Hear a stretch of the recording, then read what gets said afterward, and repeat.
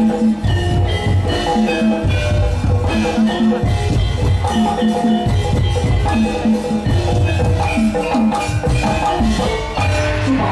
walhamdulillah wala ilaha illallah wallahu akbar.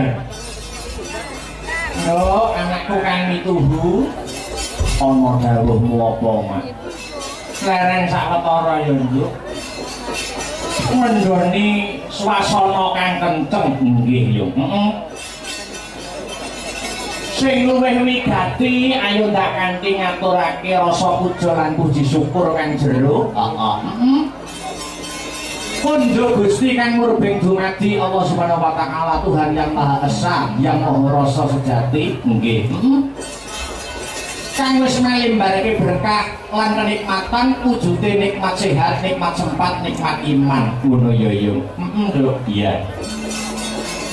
Moga tanpa nikmating pangeran aku karo kowe anakku bisa manunggal lan tetunggalan ing bumi iki. Oh iya, nggih yo heeh. Heeh.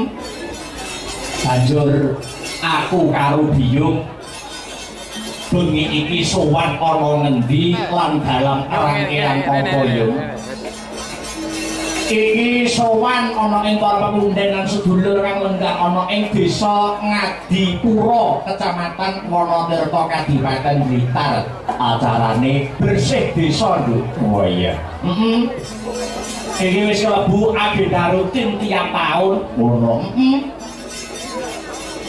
bersih desa yang pada intinya ya kuwi wujud rasa syukure masyarakat lenggah mapan ana ing desa Ngadipura marang kabeh kenikmatan kang wis diparingake saka Gusti Allah. Oh nggih ya Bapak.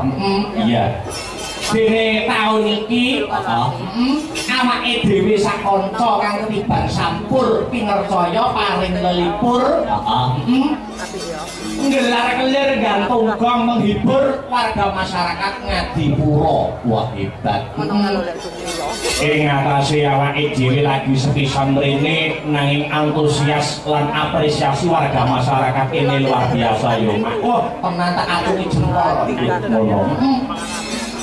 Penonton lebak wiwit sore. Heeh.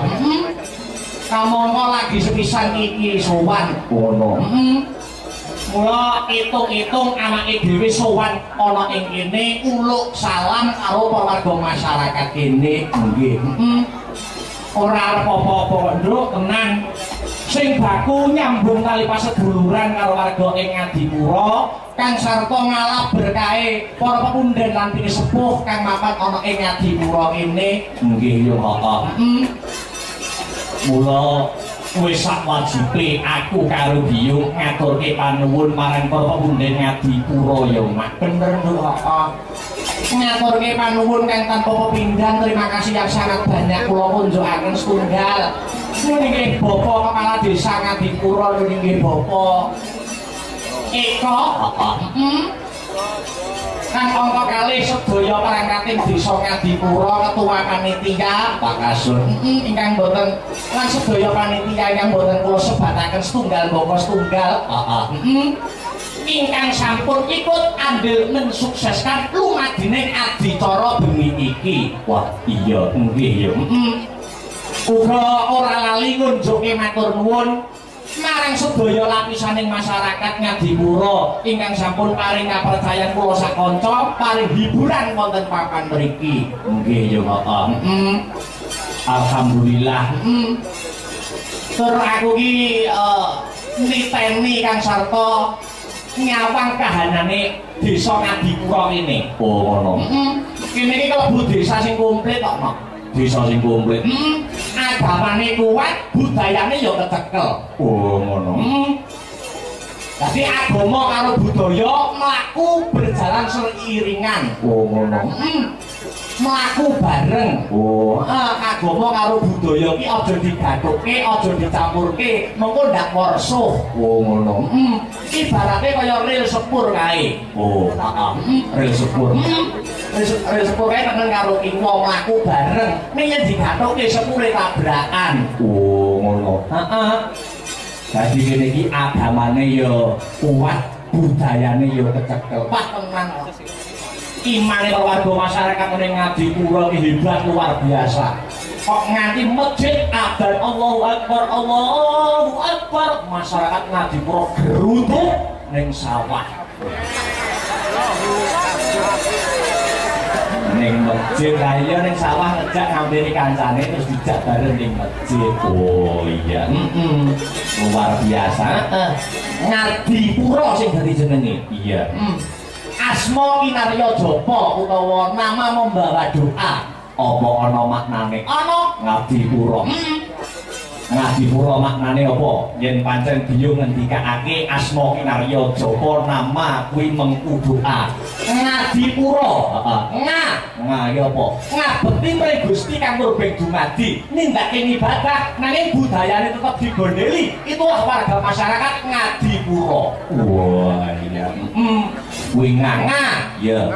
Bajute di di disesuwun marang Gusti muga-muga sak rampunge wayangan desa Ngadipura dadi desa sing bal-batun thayyibatun warapun ghafur wah iya hmm.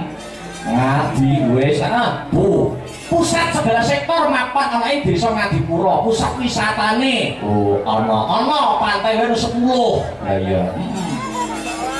pusat budayane uga ngecekel uga pusat UMKM oh ngono. Mula motone kok slogane ana ing bersih desa tahun iki. Heeh. UMKM maju masyarakat guyu wah iya. Iya iya mak iya. Hmm. sing terakhir ro. Rasa siji lan sijine wis manunggal antarane bapak kepala desa Pak Eko warga masyarakat kang satu darang akbar sing disusun mung desa Ngadipura bisa selangkah lebih maju tepuk tangan untuk desa Ngadipura pada malam hari ini wah iya hebat hebat luar biasa hmm.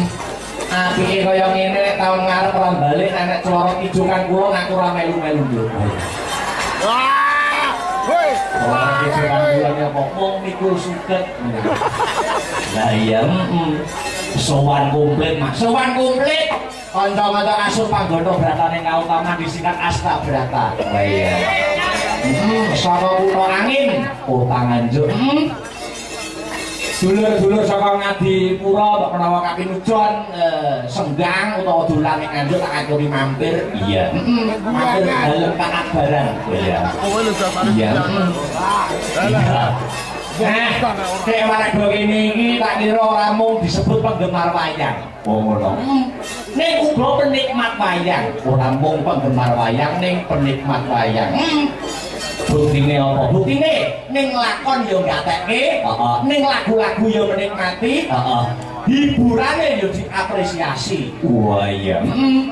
Makanya kudu ngati-ngati pentas ora kene. Kesalahan-kesalahan kecil pas lakon maya kuwi iso dikritisi karo pemerhati seni ning kene lho. Apa ngono?